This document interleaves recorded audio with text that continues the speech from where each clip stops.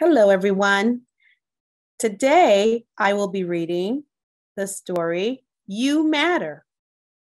I want you guys to know, all of you who are hearing this video, I want you to know that you matter. Yes, you do.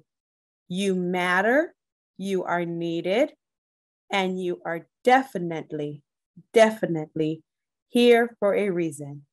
You matter. Absolutely. And you are certainly cared about. Yes, you are.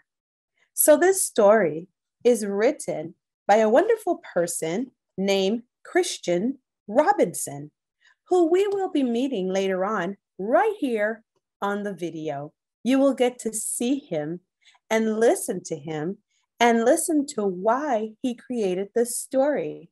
And guess what? There's a special treat that he will be doing with you at the end of this reading. Welcome to Story Time with Mrs. Fox and Friends. I hope you enjoy it. And as I'm reading this story, I want you to think about the author's point of view. I want you to think about what is the author thinking while they were creating or he was creating this story. You know, I want you to think about the theme.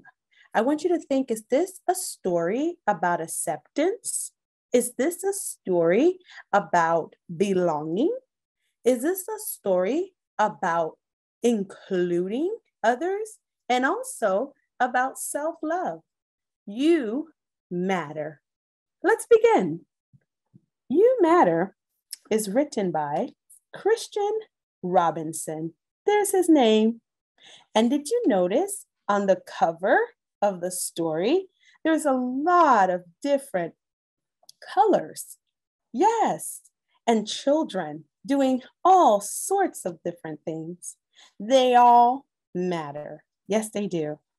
Let's begin. I want you to look at the illustrations too, because they tell a lot about the story. Look at the parachute, the parachute of the students you know, playing together. Have you played on a parachute before? Lots of fun. I know. I see the houses, the trucks, the slide. My word, there's lots of things that matter. Like you and me.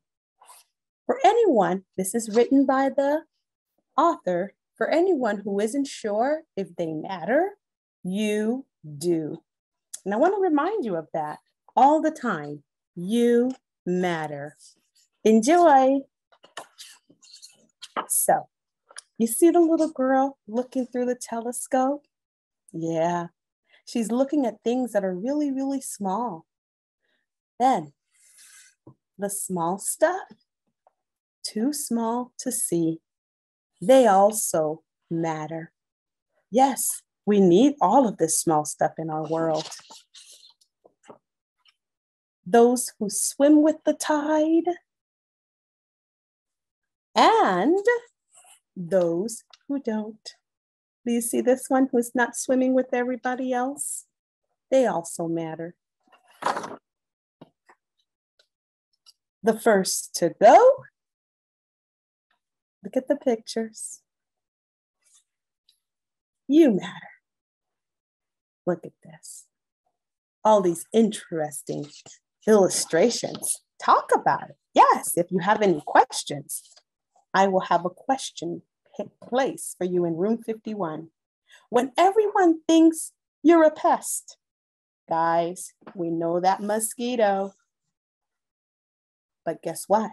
The mosquito also matters.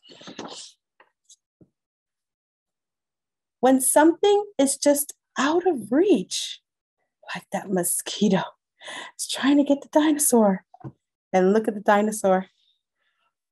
His arms are too small to reach. But guess what? They both matter. When everyone is too busy to help, you matter. I wonder what everybody's doing and where they're going. Well, they also matter. Yes, they do, people. You all matter. Look at this. If you fall down, you still matter. If you have to start all over again, you still matter. Yes, you do. Because sometimes, you know, when we have to start all over again, we think, oh, I don't want to do that. That's too much work. But guess what? If you start over again, you might be surprised that you have done a better job. You will do a better job the second or even the third time. Oh, yeah, definitely so. Definitely, boys and girls. You matter. I hope you're enjoying this. Sometimes home is far away. Look at the astronaut. And she's looking down at Earth. I wonder, what is that that she's holding in her hands? Hmm. Sometimes home is far away, you know, for the astronauts, outer space. They matter. Sometimes someone you love says goodbye. Now look at the pictures, and that can be hard. The little boy, I wonder who they're talking about. Is it the little boy? Is it the two cats? Is it the little girl with the phone?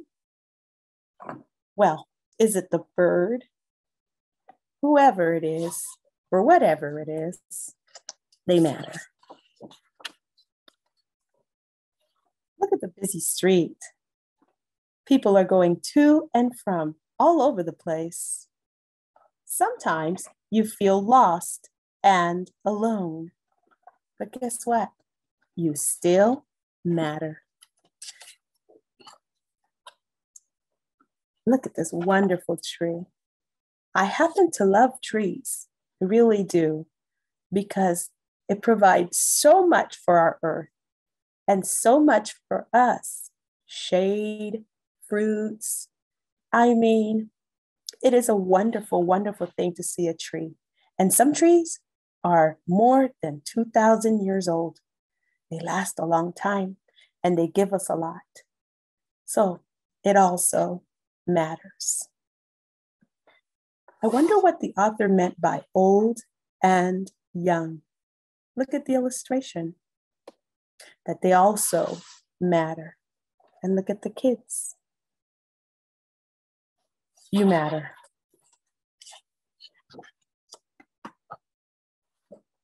The first to go and the last. Yes. The author is showing us quite a bit of examples as to what matters and why we matter. I want you to discuss that in your class with your partners. Discuss what the author has shown us that matters. The small stuff, too small to see. Look at this. Those little ants going down in the soil, they also matter. Yes, they do. Okay. You matter. You matter. I really enjoyed reading this story to you. And I hope that you enjoyed it too. And again, I want you to discuss reasons why you matter. There goes that picture again the parachute, and the students playing around. Now, as promised, you are going to see a story. The author also talking about his story. Okay? Enjoy. Here he is. When I sat down to write You Matter, I asked myself a question What is it that I most want to say to readers? The answer was You Matter. I wanted to not only say it, but show it.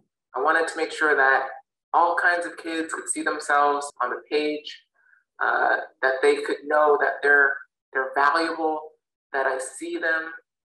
Um, I also wanted to show life through different perspectives and experiences, and most importantly, to show that we're all connected in some way. It's important for kids and adults too to know that they matter. And it's not for the reasons that you might necessarily think. You don't matter just because of how big or important you are, how good your grades are, how many trophies you've won. You matter because you exist. You matter because you're here. It's easy for any of us to forget that, especially when we're so small and the universe is so very big. But I wanted to show that no matter how small you are, no matter how close or far away you are from the people that you care about and love, you matter. It's important for kids to hear that message because kids are the future. And I think if if we all received that message when we were young and believed it, I think the world would be a different place, a better place.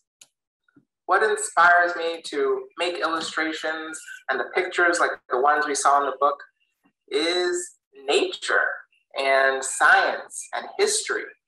I am so fascinated by the world that we live in. I find it so inspiring from the teeny tiniest little things that you can only see under a microscope to the great big things like dinosaurs to the mysteries of outer space. Um, most importantly, though, I just love to have fun with what I'm creating. Um, if, if you like to draw, maybe you're like me and sometimes you make mistakes. Sometimes you don't always draw everything perfectly. That's okay. I make tons of mistakes, but what helps is practice. I practice all the time and it helps me get better. Speaking of drawing, would you like to draw something together? Yeah? So I'm gonna use this chalkboard right here, but you can use whatever materials you have. If you have paper, crayons, markers. So to draw our, our T-Rex, we're gonna begin with the eyes. So I'm gonna do two little dots for the eyes. Not too bad, right? And then I'm gonna draw a lump and a mouth shape. And then I'm gonna leave space for the teeth So kind of like a triangle. And I'm gonna draw a bunch of little sharp teeth, which is pretty much a bunch of triangles, and some on the bottom. And now I'm gonna give my T-Rex a back. And let's work on those little tiny T-Rex hands. So teeny tiny. and let's give it some big stompy feet. And another foot. And let's finish that tail. And we have a T-Rex. Thank you so much for joining me today on PBS Kids Read Along. Happy readings. Uh, and if you haven't heard it from anyone else today, you matter to me. And in the words of one of my heroes, Mr. Rogers, I like you just the way you are. Thank you.